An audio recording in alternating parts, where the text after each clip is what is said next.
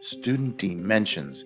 I seen a YouTube video the other night that was talking about time and space and all that stuff, and it got me thinking about you know the dimensions. Um, you know, dimensions generally explained as the past, present, and future, and you know the science and everything of that. But I thought it was a good way to kind of transition to just our lives in general.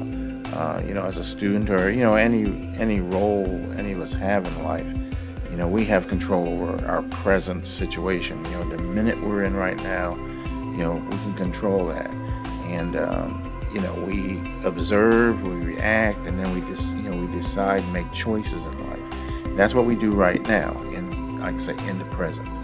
Um, and so my segue here is uh, as a student, or this could be something a job or something too, or a family or whatever, but uh, when you are li- when you are late or submitting an assignment or, or completing a task, uh, generally it's usually not because something happened. Uh, you know, it's usually because you made a decision. You made a choice to not do it, whatever it is. Now I know in, in real life there are things that happen once in a while, like a death in the family or something, but generally, um, you know, we make a choice not to do something. You know, it's not that oh, it snowed or something. Uh, you know, and uh, and just the point is it's it's a choice we make. And uh, you know we have no you know while we have no control over the past we still can control the present. Uh, you, know, you have no control over the future. Uh, you can plan for the future but today right this minute uh, you have no control over it uh, other than you know planning for it. And you know um, you know what you do today every moment of your day you control it uh, you evaluate, you make decisions on how to react to everything going on around you.